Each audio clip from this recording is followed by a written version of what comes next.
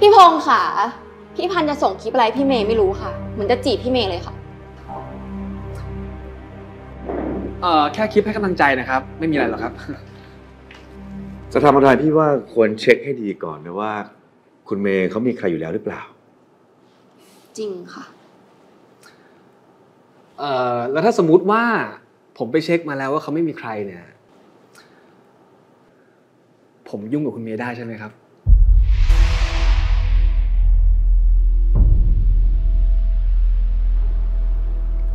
ไหนพี่บอกไม่ได้จะจีบไงพี่เช็คทำไมอะ คือพี่ว่าพันธุ์น่ะโตแล้วนะ เป็นผู้ใหญ่แล้ว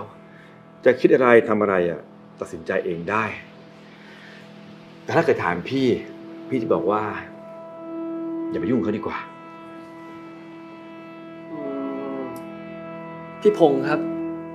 ผมสงสัยอยู่เรื่องหนึ่งครับทำไมพี่พงษ์ถึงไม่อยากให้ผมยุ่งกับคุณเมย์ล่ะครับ